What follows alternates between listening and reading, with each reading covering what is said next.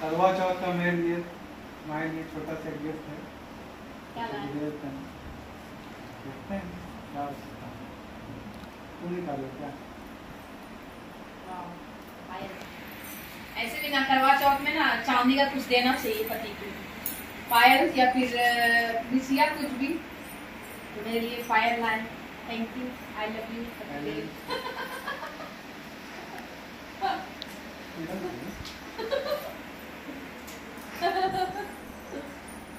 पहने हुए